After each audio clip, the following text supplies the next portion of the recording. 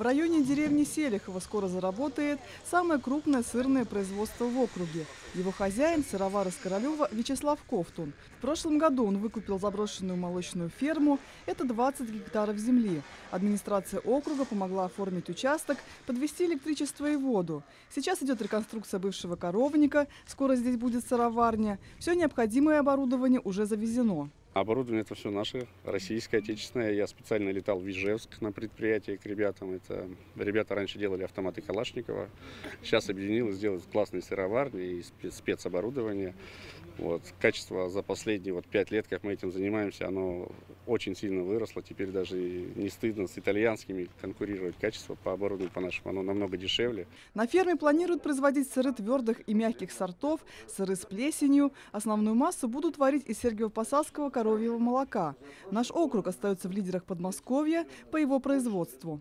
Для себя мы будем разводить еще овец.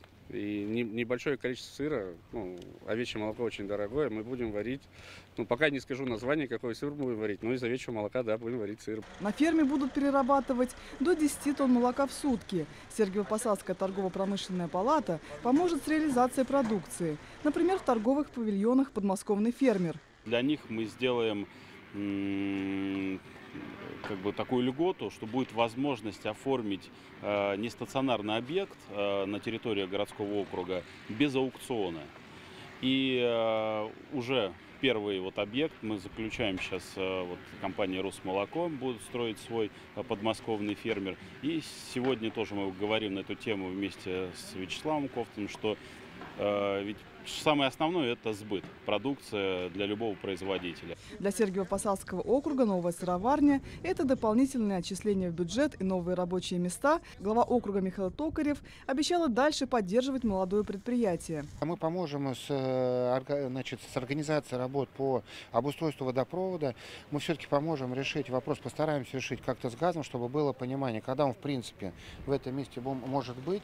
Пока его нету, это газгольдер, опять-таки поможем. Спасибо ему огромное всем тем, кто сегодня да, в такое непростое время занимается вот таким делом.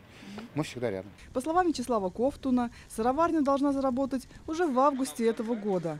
Екатерина Фурсова, Кирилл Емельянов, программа «События».